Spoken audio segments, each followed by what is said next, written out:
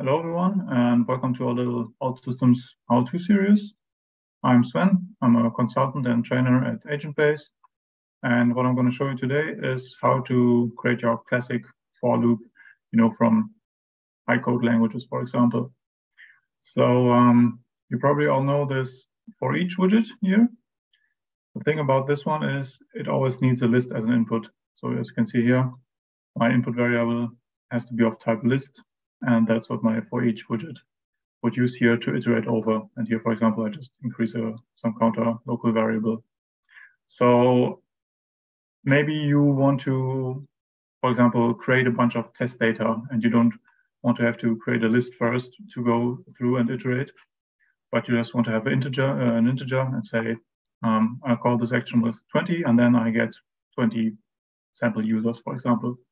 So I can do this is with this if with a normal if widget, as you can see here. Um, and you can also see you need one more thing, and that's the local variable iterator. So how this is done, I'm going to show you now in detail. So let's create a new action, and then we'll get the integer as our input parameter. Of course, this also has to be an integer. And then, as I said before, you need your iterator. Of course, also of the type integer. And then um, just for testing purposes, we make another local variable and say the counter, that's the one we just increase. So what we do now is we take our if, and here we say as long as our iterator is smaller than the input integer, we just go through this if loop.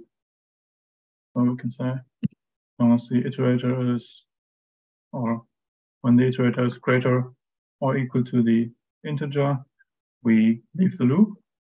So then we have to swap our connector. And then here you could, for example, put in a server action to create your test data. Or what we would do now is just increase the value of our counter.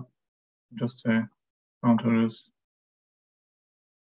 um, counter plus one. And now we also, of course, need to increase our iterator because if we wouldn't do that, we are stuck in an infinite loop.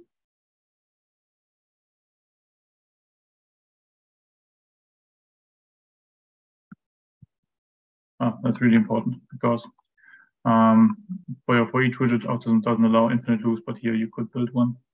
And then we just uh, connect those two. So we drag an arrow to this line and from this line back. And now um, the condition checks is the iterator greater or equal to the integer. If so, we leave the loop, and if not, we go through the loop. What we do is then increase our counter and increase our iterator.